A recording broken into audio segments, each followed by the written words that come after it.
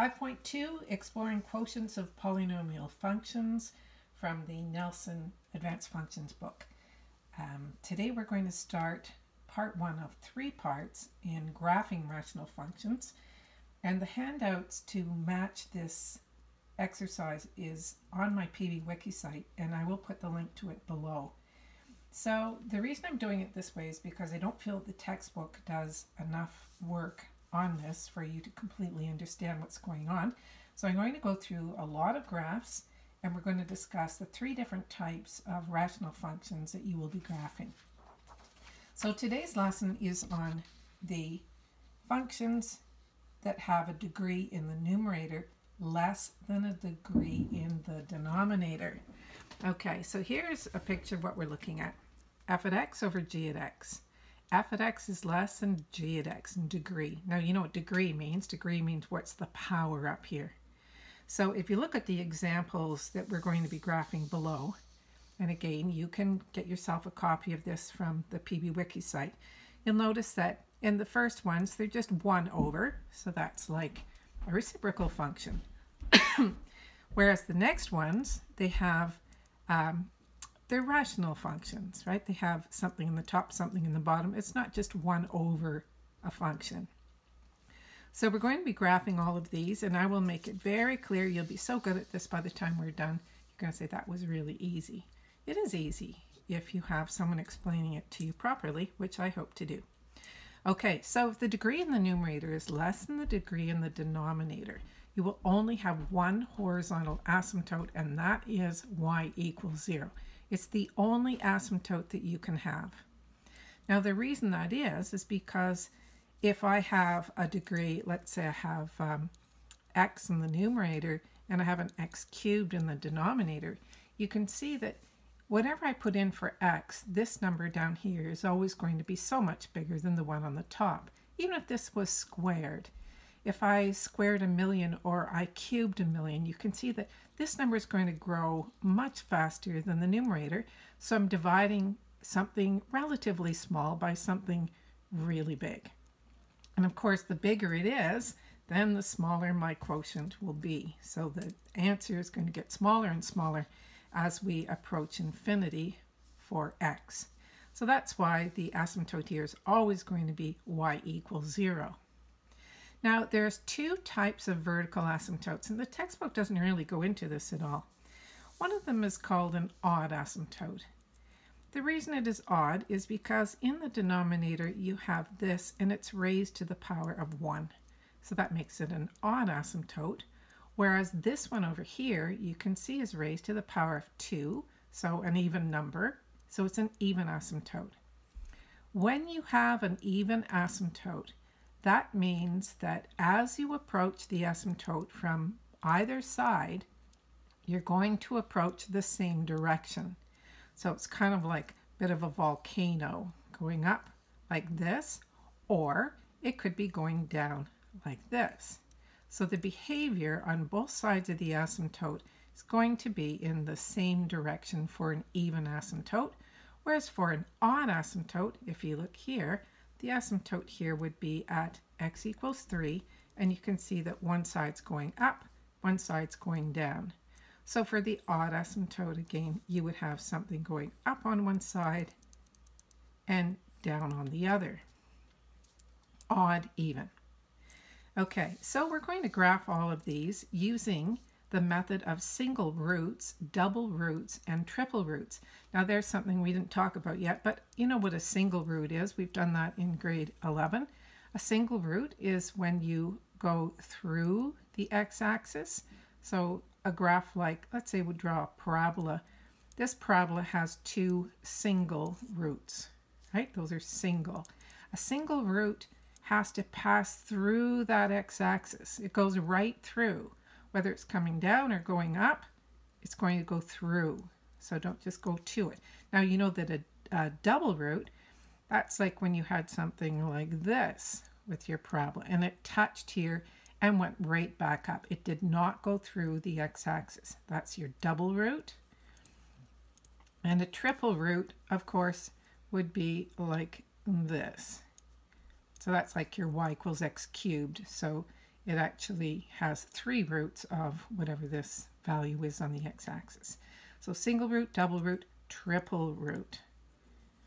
Some people have trouble drawing those triple roots. You just kind of go down and let it sit there and then go down the other side. And the, the method of even and odd vertical asymptotes, which we've just discussed, and the direction towards the horizontal asymptote. Now we know in all of these examples that the there will be a horizontal asymptote and they will all be y equals zero. Now of course when you're doing a test your teacher is not going to say these are part one rational functions. You have to check the degree all the time. Okay, so we'll try to emphasize that as we go along. I've copied out these on the next few pages and we will um, graph them here. Okay, so let's look at the first one. Let's move this up a little bit. So we have 1 over x times x minus 2. Let me get up my little ruler because what we need to do is draw in where the asymptotes are. So the asymptotes for the is the value that makes the denominator 0 here, right? So I have an asymptote for this value of x, which would be x equals 0. So I have x equals 0, and I have x equals 2 for my vertical asymptotes. I'll just denote them as VA. So you should draw them and if you were in my class, I would expect that you would label them as well. Your teacher probably will want you to do that too. So I'm going to say x equals 2, x equals 0. Some people have trouble remembering whether it's x or y. Just remember that all the values on this line have an x coordinate of 2. 2, 0, 2, 1, 2, 2, 2, 3. Okay, so I've drawn them. Now, what do I do? Where's the rest of my graph? You have to remember that your graph has to be everywhere for the, all values of x. So I need something in this section, I need something between these two asymptotes, and I'm going to need something past this asymptote. So if I look to the numerator now, because this is where we're going to find out where the x-intercepts are, you can't, for an x-intercept, remember with the rule, set y equal to 0. So if I set y equal to 0, this can never be equal to 0 because, first of all, the denominator can't be 0. So all I have to look for to find the x-intercepts is what makes the numerator 0. So in this case, I would say 0 equals 1, and the answer is it doesn't. So there are no x-intercepts. Easy enough. Okay, so I know it's not going to cross the y, the x-axis, and I also know that the degree in the numerator, and you should be checking this uh, and, and say it to yourself every time, the degree in the numerator is 0, the degree in the denominator is 2. So that means I have a horizontal asymptote of, I'm going to put this on here, y equals 0. Okay, so nice. I've got all my asymptotes on. Now I need to know where's the graph going to go. So I'm going to pick a number, any number between, well, this time I'm going to pick 1 because it's not an asymptote, so it's easy to plug it in. If I plug in 1 into this function, what would I get? I'd have 1 over 1 times negative 1. That's negative 1. So I'd have the point 1 and negative 1. Now what else do I know? I know I have two vertical asymptotes, and underneath I'm going to write that they're both odd. Now remember what I said about an odd asymptote means a function is going to go in opposite directions.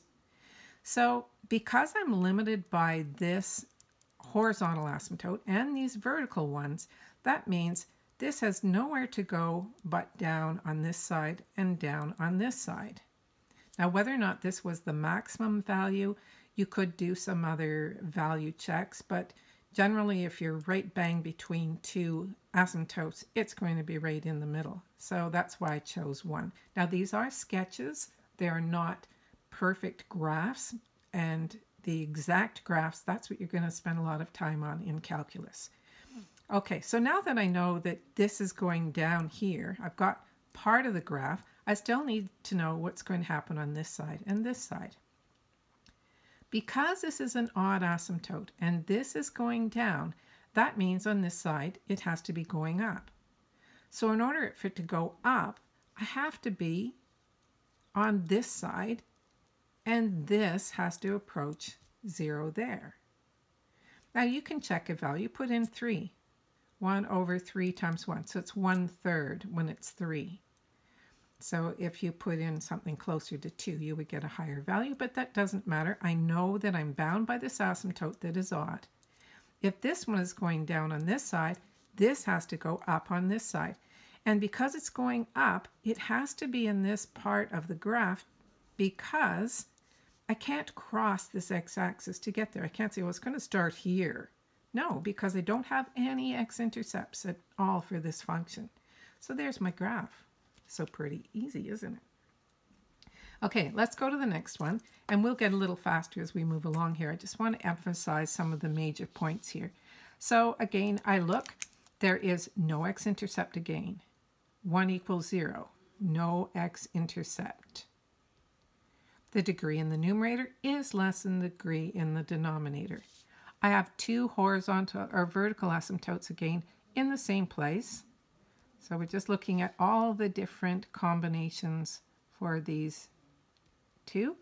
So this is x equals 2, x equals 0. Now this time I'm going to write under my x equals 2, this vertical asymptote is an even one. You see how it has a degree of 2. So I'm going to write even under here, and under the 0 it's odd.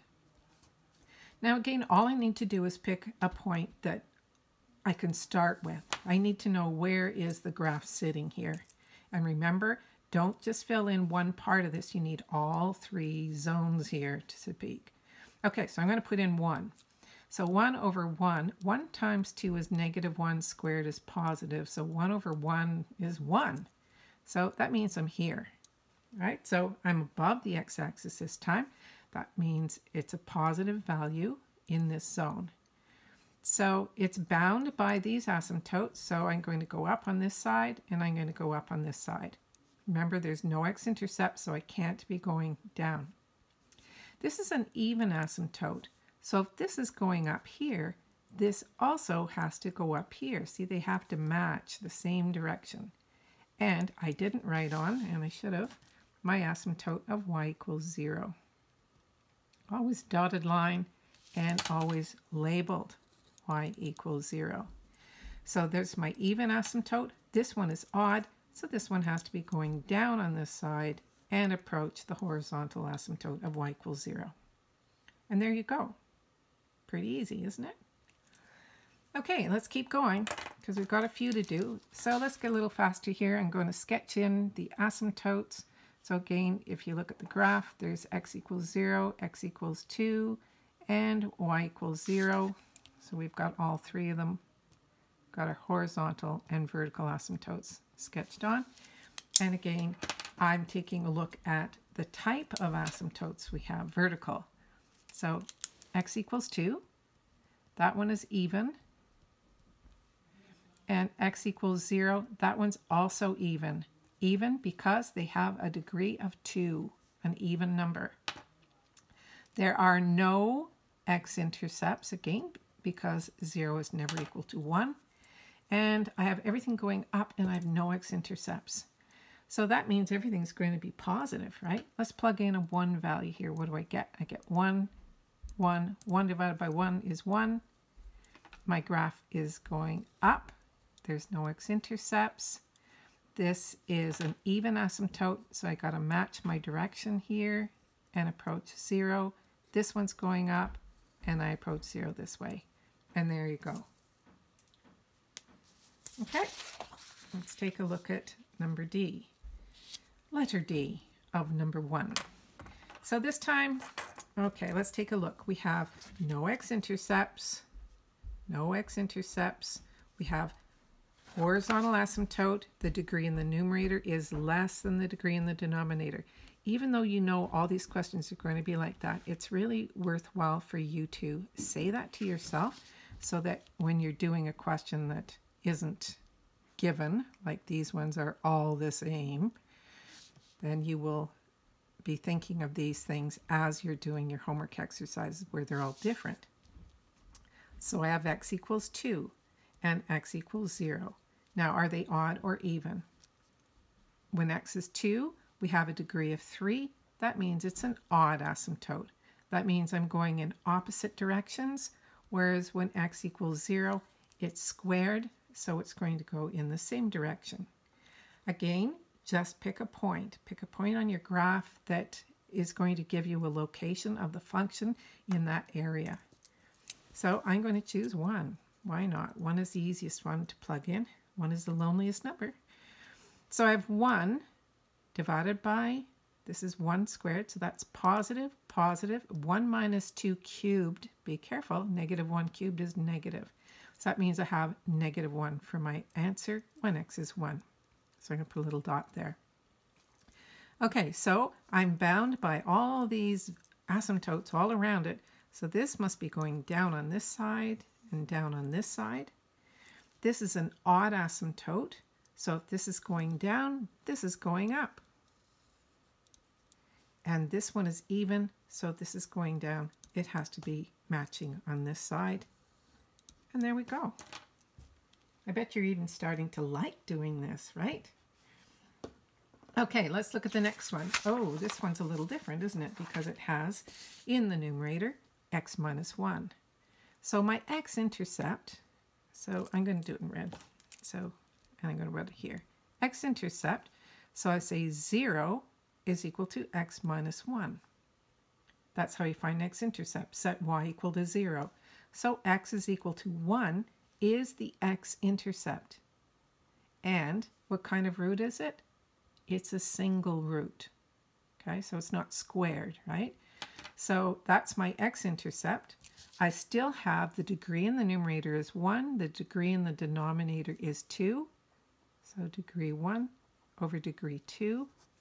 That means I have a horizontal asymptote of y equals 0. And do that really quickly. y equals 0. I have a vertical asymptote at 0. Don't forget this one. Everyone always seems to forget if there's just an x there. That means 0 and 2. So I'm going to sketch that one on here. 0 and 2. Okay, are they even or odd asymptotes? x equals 2. It's odd, has a degree of 1. This has a degree of 1. So this is odd. And x equals 0, it's also an odd asymptote. Okay, now I have to pass through this one. So I still need to know where my function is, right? Where is it? Now, because this is at 1, I don't want to use 1 because I'm just going to get 0. So I'm going to pick a number on this side this time. You could put negative 1 in if you wanted to. Oh no, let's do 2. Oh, sorry, we can't do 2. That's an asymptote. We have to use 3. So if I put in 3, now all you're trying to figure out is it positive or negative. So 3 minus 1, positive. 3 times 3 minus 1, positive, positive, positive, positive. That means I'm in this part. I'm above the x-axis. So we have a limitation going up and we have this one as we approach infinity. So now I have the first part of it. Now this is odd, so that means this is going down here, and this is a single root, so I have to pass through it and go up. So this one's a little different shape again, right? Okay, and this is odd, so on this side it has to go down. And there you go. Now you could test some other points to see if I'm right, but um, I am. I am right, or I wouldn't be telling you this.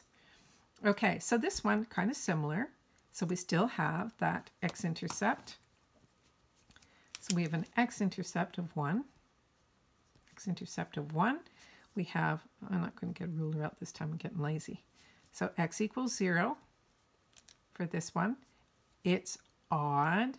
Good idea to write that on x equals 2 is even asymptote because it has a degree of 2. And my x-intercept is 1, and it's a single root. Single root. Okay, now we're all set to graph. Oh, forgot to write in my horizontal asymptote. y equals 0. Okay, so let's pick 3 because I like 3. 3 minus 1, positive. 3 squared, uh, so 3 minus 2 is 1 squared times 3. Everything's positive, positive, positive. That means I'm still going up this way. and I'm going down this way. But this time, this asymptote is even. So that means this has to have been going up on this side and down and through this one. And don't forget, you still have another section here to fill in. It's odd, it's down on this side, up on this side, and approaches the um, x-axis. Okay, we're almost done. We've got a few more, just a few little tricky ones here. So the next one is a little bit more complicated because we have a little more happening up here in the numerator. So the first thing I want to do is what are the x-intercepts? So you say what makes the numerator zero? Oh, sorry, gotta bring that down. It's one thing when I teach in school, at least the kids get to yell at me and say, Miss, we can't see it. It's a little harder. I have to make sure that you can. Okay, so the x-intercepts. What makes the numerator zero? Zero and two. X-intercepts, zero and two. I'm going to put little dots, zero and two. Um, vertical asymptotes, I have 4 and minus 4. This one's odd, this one's even. So x equals 4. Remember that asymptotes are equations of lines. Don't say the vertical asymptote is 4. That's not true. It's a line. x equals 4. And while I'm saying that to you, I'm going to put this one in here. So that's x equals 4, and it's odd and x equals negative 4, 1, 2, 3, 4. That one's going, where did it go? 1, 2, 3, 4. Okay, so this one's the even one. X equals negative 4, even. And I have these two, and I also have y equals 0. y, y, y, y, the degree in the numerator. So you have to think about what if it was expanded? What would the degree be? So this would be like x squared over, and this would be squared times an x, so x cubed. So f at x, the degree here, is less than the degree in the denominator. As this gets really big, the, the um, ratio gets very, very small. Okay, so you have to remember that. Okay, so what are we going to do with this? We have an odd asymptote. So let's go, let's go to 5 and see what happens. One, two, three, four. Let's say what happens at 5. Now we don't need to know the exact value again. All I'm looking for is it going to be positive or negative. So that would give me positive, positive, positive, positive, right? Everything in these brackets, if I plug in a 5, is going to give me a positive value. So that means I'm, up, I'm going up this way. So it has to go up and has to go down. Now, you might say, well, you were in the, it's all positive. You're above the x-axis, but there's only one way I can approach this asymptote on this side. I can't approach it going down because I can't cross the x-axis. Okay, so I've got this one nailed. Um, this is an odd asymptote, so it's going down on this side. It has to pass through this x-intercept, and it has to go back through this one. So you come up and you go back down. Now, I did a calculation just to see, um, or maybe I didn't. If you plugged in 1 here, you'd have, um, you get a little small number, some little fraction. I don't remember exactly what it was, but you can do that if you want. But it's going to go up and go right through back here, and it's going to go back down. So it looks kind of weird, but that's the way it goes. And on this side, it's even, so that means this has to match the direction of this one and go up and approach the asymptote. Looks good? Okay, let's move on. Got a couple more to do and then you can go back and try them on your own. Okay, x-intercepts. Well, look at the numerator. x-intercept is x equals 0. Vertical asymptotes, I have x is equal to 1, x equals 2, x equals 1 is even, x equals 2 is odd. Now normally I don't do all these with my class um, because I take them up with them, but you could have stopped sooner. Too late to tell you that now. You could have stopped and tried some on your own and then come back and check them. Okay, so this is x equals 2, x equals 1, 2 is even, 1 is odd. And Again, I have a degree of 1 in the top and I have degree of 3 in the bottom. That means I have a horizontal asymptote of y equals 0. Make sure you say that to yourself. X-intercepts, 0. Okay, we'll put that on here. There's my x-intercept. So now I need to know um, where am I in this little graph? I've got the asymptotes, but I need some points. All you need to do is find one zone where it's going to be positive or negative. Okay, so this was 1, 2. We could check the point 3. So if I put in 3 here and have positive, that's positive, that's positive. Anything you square is positive, and 3 minus 2 is positive. So that means this has to be going up, and this has to approach the asymptote. Okay, this one's even. So that means this is going down on this side. And I have to, I can't cross this. So that means this has to be some sort of shape that's going to go kind of around like this. Now, how high it comes up is debatable, but you could at least do a small calculation and plug in 1.5 and see what happens. Because it's right in between those two asymptotes, it's probably the maximum height. And I did that, and at 1.5 you get minus 12. So it's really way down here somewhere. But it's not on my graph, so I'm just going to sketch a little one in there like that for you. Okay, so this one's odd. So that means this has to be going up on this side, and I have to pass through um, just a minute, what do I do here? Yeah. x equals 1. Oh, sorry, x equals 1 was my even one. Ah. This one was odd. This one was odd and this one was even. So I graphed this before. It didn't look like that. Okay, so it was odd. I said that and then I said even. So this was the odd one too because it's a degree of 1. This one's the even one with a degree of 2. Okay, so that's going down. Um, this one was even, so we need to switch the direction of this last little part. So it's coming the same direction and it's going to go through here. But as x approaches infinity, this is going to approach zero. Okay, last one here to go. You want to stop, try it on your own and come back. Do it.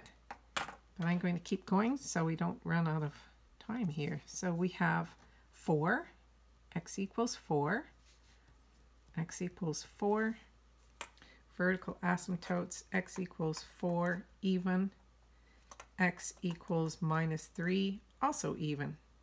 So minus 3, 1, 2, 3. Boom, boom, boom, x equals minus 3, even, and even. Okay, so what are my x-intercepts? X-intercepts what makes the numerator 0, right? I'm going to write that in this time. What makes the numerator 0? That's all you have to do. You don't even look at the denominator because you can't make the denominator 0. That would be vertical asymptotes. Okay, so only look up here. So this would be 0. Now this time we have it squared. So 0 squared, that means it's an even sorry, a double root, a double root at zero, and I have one, which is a single root. What's the difference? Double root, you come up and touch it. Single root, you're going to pass through. So I have one here, and I have zero. I have to remember that this is the double, that's my single. Okay, so let's go to, we have four. Let's go to 5, x equals 5, and see what happens.